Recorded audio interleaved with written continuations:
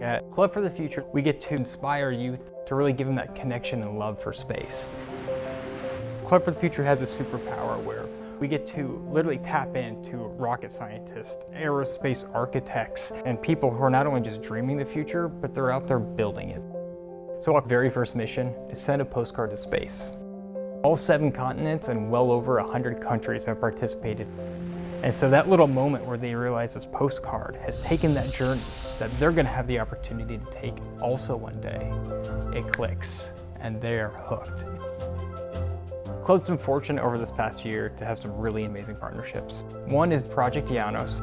Students need to have their curiosity sparked so they can fall in love with human spaceflight and why it's not in the future, it's today. Let's look at the past, the present, and the future.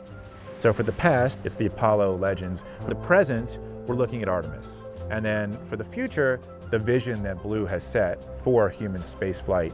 And that's why Club for the Future and Project Janos has real potential to have a positive impact on the world.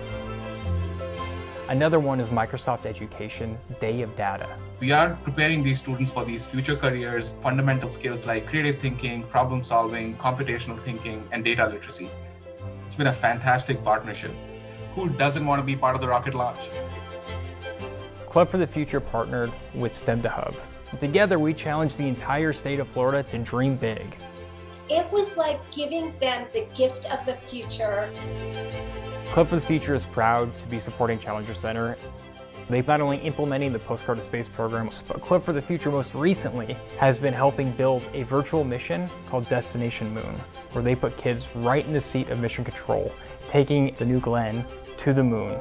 The teachers have told us that they're loving it, the students are loving it. They're going to be the ones exploring Mars and Moon. They're going to be the ones launching New Glenn. Thanks for being members of the Club for the Future.